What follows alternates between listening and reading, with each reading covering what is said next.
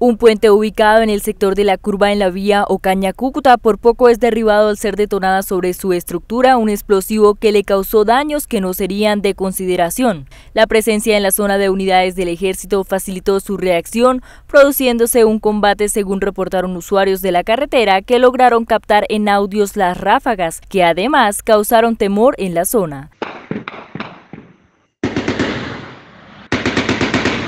La acción podría estar enmarcada en los procedimientos que viene aplicando el ELN en conmemoración de los 55 años de su creación.